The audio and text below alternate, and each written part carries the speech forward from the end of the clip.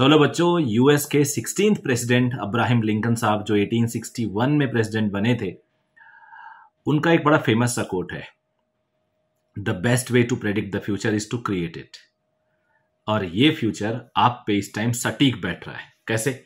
आपको बनना डॉक्टर तो आप प्रेडिक्ट करो यार कि बन जाऊँगा, नहीं बनूँगा, तैयारी अच्छी चल रही, नहीं चल रही है।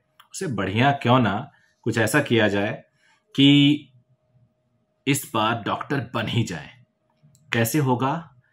कैसे करना है? इसके लिए मैं आपकी हेल्प कर ही रहा हूँ रोज सात बजे काउंट डाउन सीरीज़ में। और हर दिन एक एक दिन हम पास जा रहे हैं एग्ज़ाम के और ऐसे देखते देखते एग्ज़ाम भी हो जाएगा। आप एग्ज़ाम में बैठोगे पेपर दोगे रिज़ल्ट भी आएगा काउंसलिंग भी शुरू हो जाएगा। ये प्रोसेस जो समय चक्र का है ना, ये रुकता नहीं है। तो क्यों ना आज कुछ ऐसा सोचें कि जिद करें। क्यों ना हम जिद्दी बने।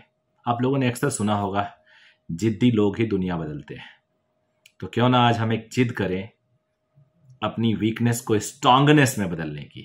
क्यों ना हम एक जिद करें फिजिक्स जो हमारा कमज़ोर है, उसको स्ट्रांग करने की। क्यों ना हम जिद करें, हमारी लेट उठने की आदत है, उसको जल्दी उठने की आदत में कन्वर्ट करने की। क्यों ना हम जिद करें, हमारा जो लेजीनेस है, उससे हम दूर हों। क्यों ना हम जिद करें, अपने मोबाइल फ़ोन से हम दूर हों। क्यों ना हम जिद करें अपने उन दोस्तों से दूरी बना देना जो निगेटिव सोचते हैं। क्यों ना हम जिद करें? अपनी उन आदतों को छोड़ना जो हमें लगता है कि हमें शायद हमारे टारगेट से दूर करती हैं।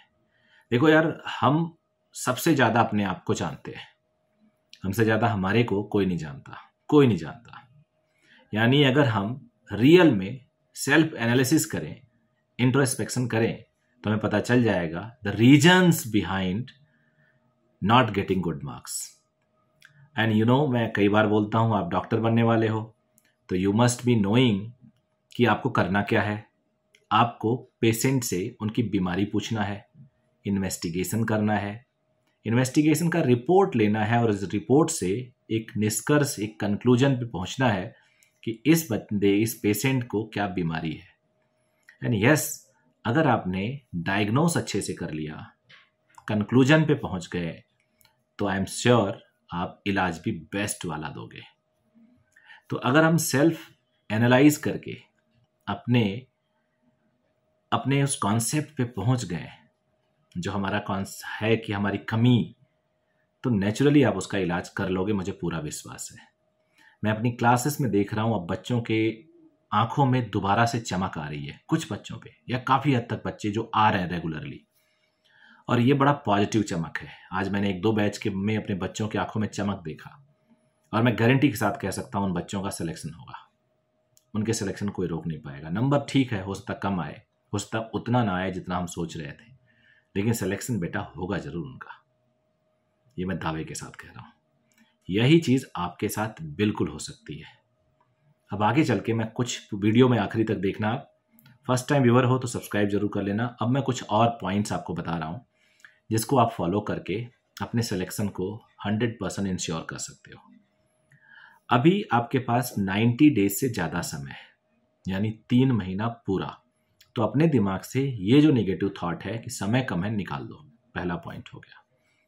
दूसरा पॉइंट जो जो चैप्टर आपको ए ग्रेड बिल्कुल आता है जो थोड़ा कम आता है और जो बिल्कुल नहीं आता है, वो तीन अलग अलग पॉइंट्स उसके आप लोग सेग्रीगेट कर लो, बना लो। अगर आप तीनों ऐसी चीज़ें अलग करके देख लोगे तो आपको हल्का या भारी एक महसूस होने लगेगा। ज़्यादा चैप्टर बिल्कुल नहीं आते, थोड़ा भारी महसूस होगा। मैं बोलूँगा कि आप हमेशा उन बच्चों से बेटर होंगे जो क्रैश कोर्स ज्वाइन करने आते हैं हमारे यहाँ। देखो, मैं अपने यहाँ क्रैश कोर्स बड़ा इफेक्टिवली चलाता हूँ हर साल। लगभग छः घंटे की क्लासेस होती हैं ऑल सिक्स डेज़ होती हैं, और बच्चे को forty forty five forty three days में पूरा कोर्स पढ़ाया जाता है। एक रॉ बच्चे को जो कुछ नहीं पढ़ा होता बोर्ड पढ़ के आता है मैक्सिमम बच्चा बोर्ड का होता है। उनमें से कुछ बच्चे यार सिलेक्शन ले लेते हैं, और आप सोचते हो कि आप इतना कुछ पढ़े हो, और आपके उन सब्जेक्ट की संख्या भी ठीक ठीक है जो आपको आता है टॉपिक सब टॉपिक की और उन टॉपिक की संख्या ऐसी है जो वो भी ठीक ठाक है जो कम आता है और बाकी जो नहीं आता बिल्कुल एटलीस्ट वो एक नंबर वन थर्ड या टू थर्ड ऐसा होगा, पूरा तो नहीं होगा। लेकिन मेरे पास ऐसे बच्चे आते हैं जो पूरा नहीं जानते और उनका सिलेक्शन हो जाता है। तो आपकी कंडीशन उनसे बहुत अच्छी है। मैं आप सबसे हाथ जोड़ के रिक्वेस्ट करता हूँ यार, अपने लिए, अपने पेरेंट के लिए सोसाइटी के लिए पढ़ना शुरू कर दो। और प्रण कर लो, जिद कर लो सिलेक्शन होगा। The best way to create predict your future is to create it इस बारे में ध्यान से सोचना, समझना। कौन रोकेगा यार आपको? कमेंट ज़रूर लिखो। कमेंट लिखते हो तो अच्छा लगता है। कई बच्चे जुनून में, जोश में आके कमेंट अच्छा लिख रहे हैं। एंड आई एम श्योर वो सेलेक्ट भी होंगे। Bye bye take care of yourself